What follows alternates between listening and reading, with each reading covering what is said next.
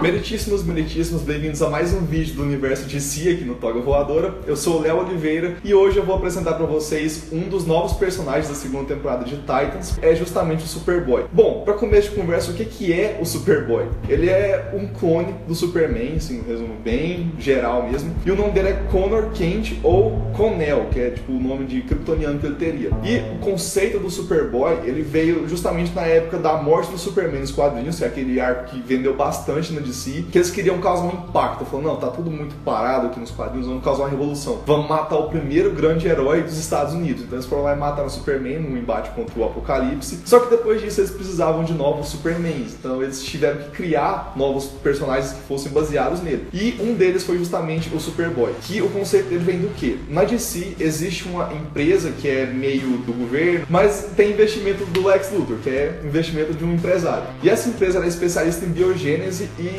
manipulação genética. E a Cadmus queria entender da onde que vem o gene metal humano, que acabou alterando o DNA de muitos seres humanos normais, passou a dar poderes pra galera. E além disso, por conta do interesse privado do Lex Luthor aí, eles passaram a produzir metal humanos que seriam utilizados como armas biológicas. E é claro que não podia faltar um clone do Superman. Imagina quanto custaria uma arma dessas, vai vender pro exército o seu Superman privado. Só que até então nenhum dos clones do Superman tinha dado certo, porque é difícil reproduzir o DNA de um alien que é basicamente único até o momento. Eles não tinham ainda a Supergirl, não tinham a Poderosa, que eu vou falar das duas aqui no vídeo mais pra frente, e eles precisavam reproduzir de uma forma que se adaptasse à Terra. E o que, que eles acham que pode dar certo? Utilizar DNA humano. E quem oferece o seu DNA para pesquisa é justamente o Lex Luthor. Então, como a Ju comentou no nosso vídeo anterior sobre Titans, o Lex Luthor teve um filho com o Superman e é o Superboy. E se fosse colocar para você conhecer o Superboy mesmo e ter vontade de entender o personagem, ele é a versão legal do Superman. Porque é difícil pra caramba escrever o Superman. Ele é um deus, ele é a figura messiânica da DC. Você não consegue se identificar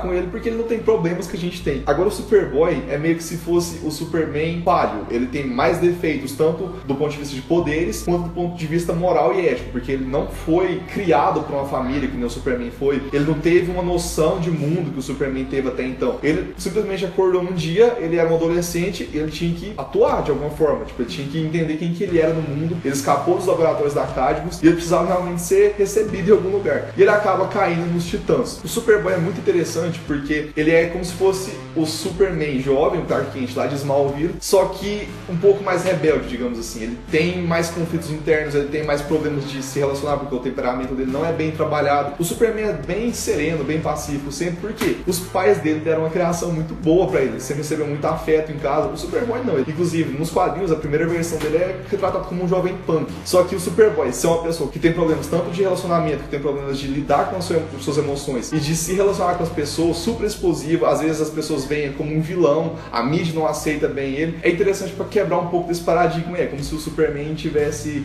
sido desmistificado a partir desse clone do Superman. Bom, de início, uma coisa que é super interessante do Superboy é que ele não tem os poderes do Superman. Ele tem meio que uma força, uma super força limitada, que eles chamam de telecinesia tátil, que é basicamente a aptidão para mover grandes quantidades de massa, mas sem que isso seja limitado, que nem é a do Superman. Então ele simula a super força do Superman, ele salta muito alto para simular que ele voa, porque no começo ele realmente queria ser um Superman, mas ele não tinha os poderes dele. Por exemplo, ele não tem visão de calor, pelo menos não no começo, então ele tem que ir desenvolvendo aos poucos, até porque ele é meio humano, meio kryptoniano. Então ele tem limitações que acabam por ajudar o herói a ser mais identificável, porque quando ele supera os traumas que ele tem, as dificuldades de sociabilizar, ele acaba se tornando um herói mesmo. Só que ainda assim ele é um herói que tem fraquezas, que não é só a kryptonita. A fraqueza dele vem justamente dos poderes limitados que ele tem. E aí que é interessante ver ele nos Titãs. Ele vai ser realmente o peso pesado da equipe, quem vai sair na porrada com todo mundo, porque é o Superman, eles podem mandar ele para qualquer combate que ele vai sobreviver. Então ele aguenta muita coisa. Só que ao mesmo tempo, se vier um vilão muito poderoso mesmo, ele não vai aguentar. Não é que nem o Superman que sempre tá lá para ser o salvador. Não, você não pode confiar no Superboy para salvar o dia, porque ele não tem um poder ilimitado, ele não é um deus que nem o Superman é. Então é como se fosse realmente o Superman fragilizado. Bom, e é interessante a gente ter a Cadmus chegando justamente com esse arco aí do Superboy, que a gente teve os 12 clones que eles fizeram lá do Superman, que deram errado, que alguns se tornaram até vilões posteriormente e que acertaram só no Superboy. Mas além disso, eles criaram outras versões importantes de heróis da DC. Por exemplo, em Justiça Jovem a gente vê que a Cadmus criou um clone do Ricardito, que é o Roy Harper, que é o arqueiro vermelho, que trabalha lá com o arqueiro verde, que foi num arco onde que o Roy Harper original desapareceu e aí o clone dele assumiu sem saber que ele era um clone. Então dá para fazer coisas interessantes com essa manipulação genética, com essa questão das supercorporações que acabam influenciando na nossa vida sem a gente saber. Então as pessoas que tinham relação com o Roy não sabiam que era um clone, só continuaram vivendo normalmente. Eu acho que na série a Cadmus vai começar não abordando diretamente o Lex Luthor, porque vai ficar um pouco oculto isso aí, tipo, quem que tá financiando eles, quem que tá tendo esse interesse aí de atacar os heróis de alguma forma, quem que quer manipular esse, essa questão da, das armas biológicas aí. E eu acho que o Lex vai ficar para aparecer mais pra frente, porque Lex Luthor implica em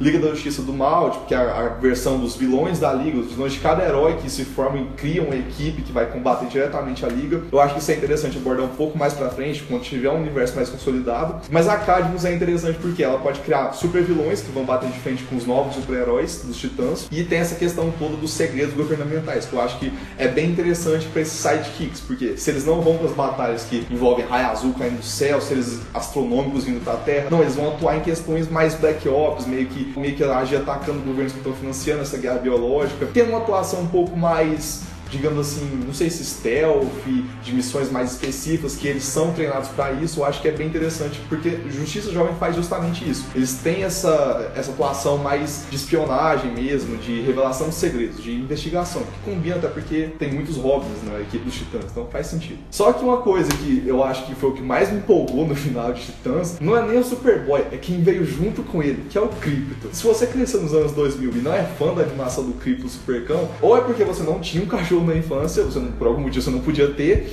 ou porque você não assistiu mesmo, porque é impossível não amar aquela série. Era tipo um garoto que do nada ganhou um cachorro que caiu do céu numa nave, e esse cachorro passava a atuar como um herói mesmo, como um Superman canino, e era divertido pra caramba, porque era uma criança divertida com seu cachorro, mas ao mesmo tempo o cachorro era um herói. Era muito bom isso. E nos quadrinhos, ele Nossa, é... parece ótimo. Tô zoando.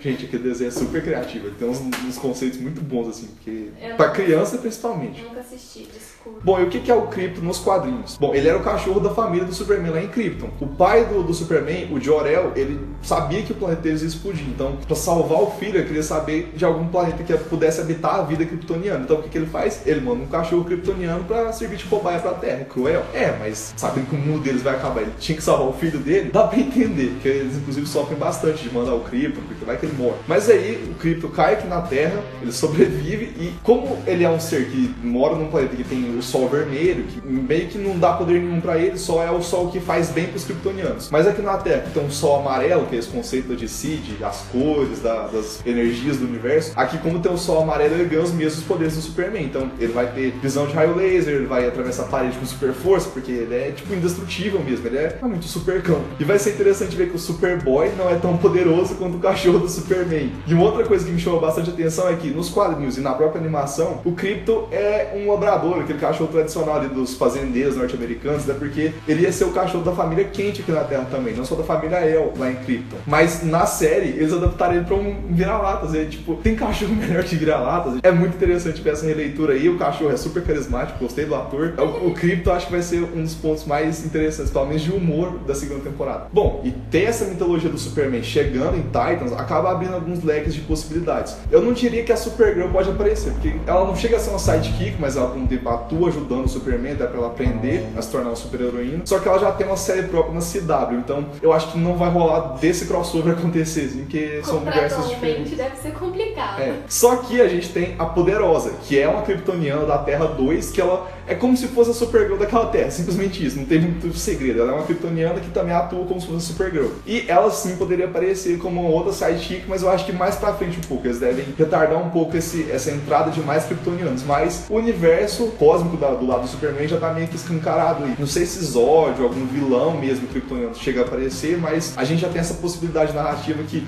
se eles quiserem ir pra um lado mais cósmico, que eu acho que não é interessante, porque a Marvel tá indo pro lado cósmico, então eles tinham que focar numa coisa diferente pros fãs quererem assistir mesmo, que eu acho que é a magia. Mas se for pro lado cósmico, eles têm muito material, porque Superboy é uma ótima adição pro universo, ele tem potencial para ser um dos grandes heróis, não só como mito mesmo, mas como personagem, como desenvolvimento. E eu acho que vai ser interessante ver um, um ser que é um clone, que nunca teve uma vivência anterior, tem que lidar com os rolês todos que vai estar acontecendo já com os titãs. Ele tem que se adaptar no meio do caminho. E com a adolescência. Exatamente. Que é, acho que é mais perigoso do que o Slade. Com certeza, a adolescência pior. Então é isso, se você gostou do vídeo, deixe seu like, se inscreva no canal, deixe nos comentários aí o que você acha do Superboy, como você acha que eles vão abordar ele na segunda temporada. Nos sigam nas redes sociais também, tá tudo aí embaixo na descrição. E acompanhe o canal porque vai ter mais vídeos de heróis individuais do, dessa nova temporada de Titãs, além das reviews semanais de todos os episódios dessa temporada. Então vai ter muita coisa de si aqui no canal, fique de olho aí, até a próxima. Tchau. Tchau.